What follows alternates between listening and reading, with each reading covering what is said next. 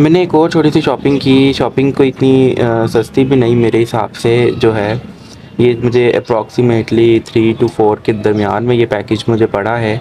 इसमें एक bulbs plant है जो कि काफ़ी रेयर बल्ब है। उसकी आईडी मैं यहाँ पर मेंशन कर देता हूँ। साथ में उसकी रेफरेंस पिक्चर भी लगा देता हूँ। तो इसकी मैं जो है ओपनिंग करने लगा था तो मैंने कहा आपके साथ शेयर करता हूँ।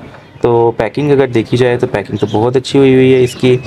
पॉट ही में मतलब पॉटेड चूँकि डिलीवरी थी तो पॉट को ही उन्होंने बहुत अच्छे से पैक किया हुआ कि प्लांट भी ना हिले और सेफली पहुँच जाए। तो चेक करते हैं कि प्लांट कितना इंटैक्ट है और किस हालत में है और क्या वर्थ है इतनी प्राइस इसकी।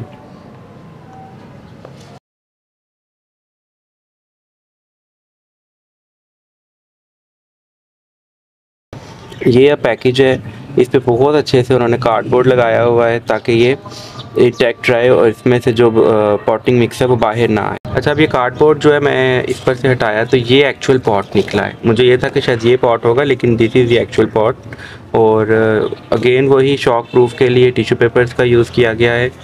तो अब मैं इसको ये निकाल देता हूँ।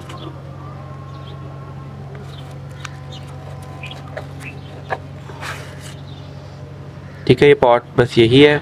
और ये हमारा प्लांट है। और अभी भी इसको डबल पैकिंग की गई है। इतनी अच्छी पैकिंग मैंने नहीं देखी। ये बहुत अच्छी पैकिंग की गई है। इसका मतलब है ये ओपन है और ये पॉट है एक्चुअली अब इसको फिर ओपन करते हैं। प्लांट तो बहुत प्यारा है, लेकिन two time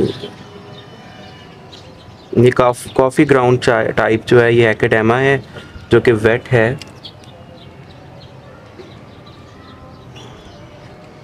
this is the pot और ये बल्ब है।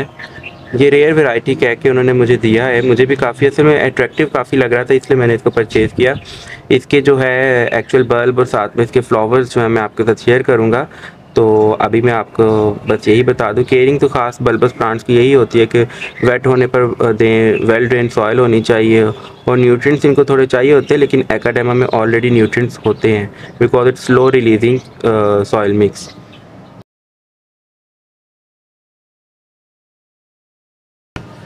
general care guide जो है, इसकी वो यही है कि चूँकि सॉइल मिक्स तो बहुत अच्छा एकाडेमा में लगा हुआ है, लेकिन जिनके पास नहीं है, वो क्या करें सैंड ले लें और उसके अंदर थोड़ी सी कंपोस्ट ऐड कर लें और उसमें इस बल्ब को लगा सकते हैं। बल्ब इसको ऊपर करके इसलिए लगाया गया है, वरना ये आपको वाइल्ड फॉर्म में अगर मिलें तो शायद ये सेमी जो है संकन होते हैं सॉइल के अंदर जो है डिग्ड होते हैं। अब इसकी केयर में दूसरी चीज़ जो आ जाती है, वो है लाइट की तो लाइट सर्दियों की तो धूप इसको चाहिए, क्योंकि बेसिकली ये विंटर एक्टिव प्लांट्स होते हैं। समर डॉर्मेंट होते हैं ये प्लांट्स तो मुझे लगता है कि समर में ये इसकी जो फॉलिएज है ऊपर से ये वाली, ये उतर जाएगी, ख़त्म हो जाएगी, सिर्फ़ बल्ब रह जाएगा।